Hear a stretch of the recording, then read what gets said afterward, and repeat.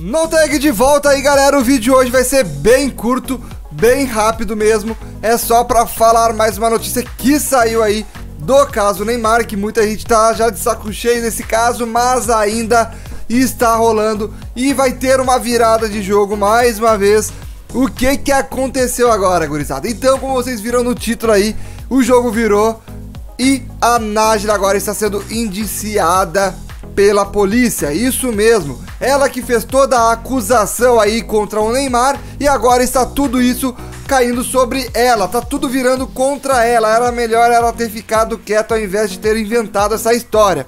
Então, a Polícia Civil de São Paulo anunciou hoje, no dia 10, o indiciamento da modelo Nájila Trindade pelos crimes de denunciação caluniosa, fraude processual e extorsão.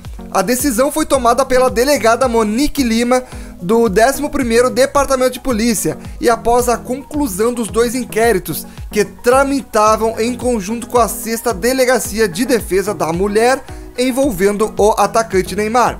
E a reportagem do All Sport entrou em contato com o advogado de Nájila, o Cosme Araújo, uh, e ele falou o seguinte: Não posso me manifestar se não tive acesso ao relatório dela. Nem eu, nem Ministério Público tivemos acesso, disse o representante da modelo. E ele afirmou que tentou acesso ao inquérito ontem, porém conseguiu somente parte do documento. Uh, então, além de Nájila, Stevens Alves também foi indiciado. No caso dele, os crimes seriam fraude processual e por divulgar material com conteúdo erótico de Nájila. E de acordo com as autoridades, Stevens mandou as imagens a um repórter em troca de publicações suas na internet. E ele também afirmou que aguardará o acesso ao inquérito para se manifestar sobre o caso. Ele falou: Vou ler o material, conversar com a minha advogada e só então me pronunciar, disse o UOL Sport. Ao UOL Sport, né? Então a decisão, no entanto, não significava que Neymar foi considerado inocente. Caso haja novas provas, o inquérito pode ser reaberto a qualquer momento.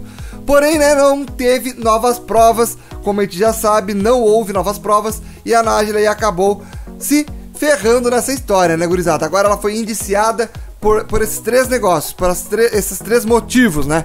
Que foi a extorsão. Uh, deixa eu ver, deixa eu achar ali. Extorsão. Uh, cadê? Extorsão. Fraude processual e denunciação caluniosa. Vamos ver como é que ela vai sair dessa. Lembrando que o inquérito pode ser reaberto a qualquer momento sobre o caso Neymar, se ela tiver novas provas. Porém, acredito que não terá, não tem novas provas, porque não existe.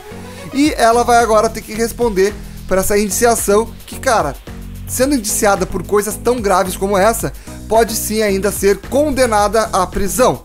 Então, galera, o caso aí da Tá rolando, tá aí notícias ainda sobre o Neymar, sobre a Nájila. Vou trazer notícias sobre mais coisas aqui nesse canal. Tô um pouco parado nesse canal porque eu tô postando bastante coisa lá no canal secundário, que é o canal de PES. Para quem gosta só dos vídeos de PES, se inscrevam lá no canal secundário porque estamos bombando lá, estamos fazendo bastante série bem legal. Então se inscreve para não perder nada. Beleza, galera? Então é isso aí, um forte abraço a todos. Nos vemos no próximo vídeo. Falou e fui!